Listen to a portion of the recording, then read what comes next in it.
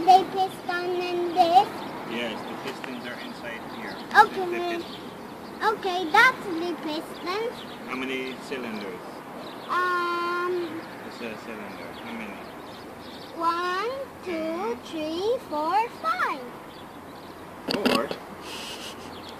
One, two, three, four. One, two, three, four. Yes. Correct.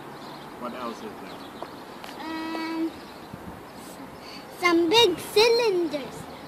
They're one, two, three. That's not the cylinder. That's the air filters. That's the air filter system. Because what happens is the air comes in through here and it goes out in here and there's a filter here and it goes in there and it keeps the engine cold.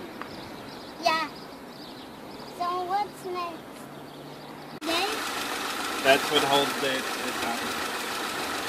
Don't pull that because if that falls it'll, it'll like hit you on the head like that.